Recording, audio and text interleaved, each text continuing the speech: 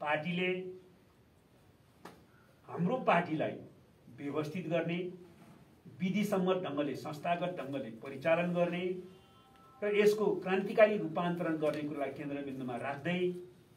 अरू सबै कम्युनिस्ट क्रान्तिकारी शक्तिहरूसँग पनि एकता र ध्रुवीकरणको निम्ति वार्ता गर्न पहल गर्न आवश्यक प्रक्रिया अगाडि बढाउने पनि निर्णय गरेको छ। मुख्यत यिनै निर्णयहरू